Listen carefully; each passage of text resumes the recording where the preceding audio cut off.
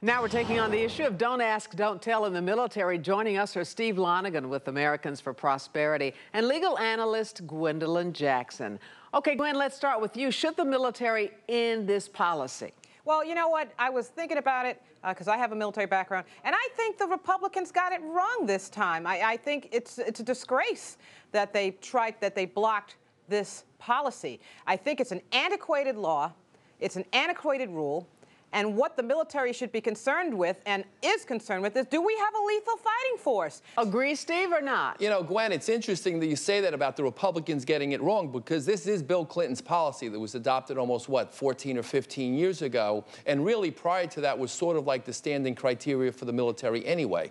Uh, the United States military is not a petri dish for social engineering experiments or advancing popular causes. It is first and foremost a fighting machine, like you said uh, ultimately, like you said as well. And what's important to a military machine is sheer discipline. What are we saying to those soldiers that are? Are you saying gays can't be disciplined, Steve? No, what I'm saying is the United States military also already has standing rules that prohibit, prohibit emotion, prohibit perhaps em, embracing or dating between uh, enlisted men and officers. Oh, In let's fact, just be honest. I mean, the dating thing has been going on since the beginning, hasn't it? And don't, a- don't ask, don't tell. This is not Steve, flagrant I'm just going to have to say this. They have policies in place to make sure that there's not inappropriate dating relationships. What are we talking about here? We're talking about fundamental issues. The issue is do we have a lethal fighting force? And if you've queried some of the commanders, they're concerned about what the perception is on that battlefield, okay? And I don't know if you uh, are aware of it, but gays have been in the military for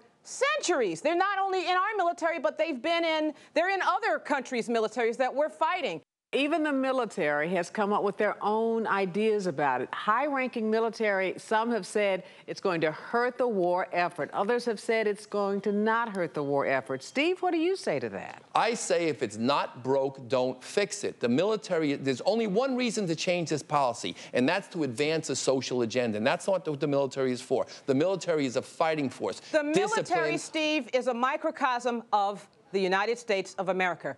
For many the, years, the United States of America is not a fighting years, force. For Gwen. many, That's not true. I said it's a microcosm. People that join the military are a part of our society. They are not afraid well, of serving with people that are in that okay, are homosexual. They're not you. afraid of serving I with people of different race, religion, culture, when and creed. When you join the military, you give up much of that autonomy, much of your ability to do, live your own life. You come under the rules and regulations and to the command of your commanding officers. Absolutely, period. and the commanding officer uh, basically is going to adopt the policies that are put in place. Politicians put those policies in place. What about the timing of this? President Obama actually campaigned on, I'm going to make this policy change.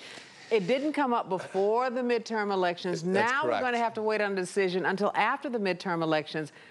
Isn't it just political? Great Steve observation, first. Brenda, because at a time when the president's under attack because his left-wing supporters are saying you're not far left enough, he comes up with this issue, and it's part of galvanizing that base. There are a lot of people that uh, you know, are against the policy, and I think the Republicans missed a wonderful opportunity to pick up more votes oh, this I don't midterm agree with election. That at all. I, I think that Republicans. And that's unfortunate that you don't agree with you know, it. It's, it's really, Gwen, it's kind of, it is kind of interesting. And I was talking to Brenda before about, you know, 15 years ago, conservatives were opposing Don't Ask, Don't Tell. Now we watch conservatives and Republicans saying, no, we like Bill Clinton's policy, so we've certainly uh, shifted positions here. That's all we have time for. Steve Lonegan and Gwendolyn Jackson, thank you both for taking on the issue and joining us.